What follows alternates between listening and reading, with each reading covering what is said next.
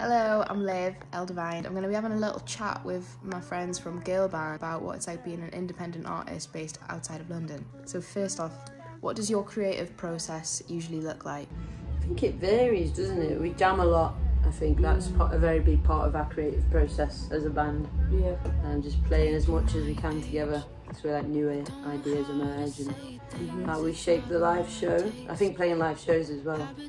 Could you tell us why being an independent artist is so important to you? Because it allow it allows us to show who we are individually and how we can mold our creativity as an individual together. How would you say that being an artist outside of London has impacted your musical journey? I think the opportunities are different as well when you're not in London. It kind of makes you work harder, I think. Yeah. It makes you kind of have, I think, just that bit more grit